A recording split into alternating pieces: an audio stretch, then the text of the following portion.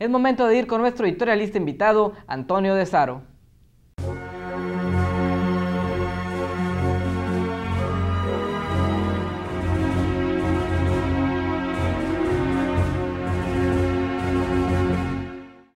Es un tanto irónico que la película más taquillera de esta temporada sea una película de vampiros.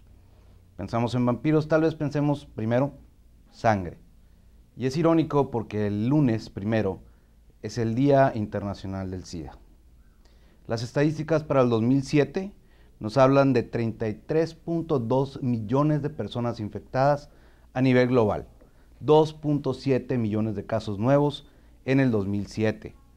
En México, 200 mil de nuestros conacionales viven con este padecimiento. 11 mil murieron el año pasado a causa de esta pandemia mundial. La ignorancia y la irresponsabilidad son las dos causas más importantes para esta pandemia de casi niveles apocalípticos. Educación y conciencia, eliminación de tabúes es lo que México requiere para hacer frente a esta pandemia mundial.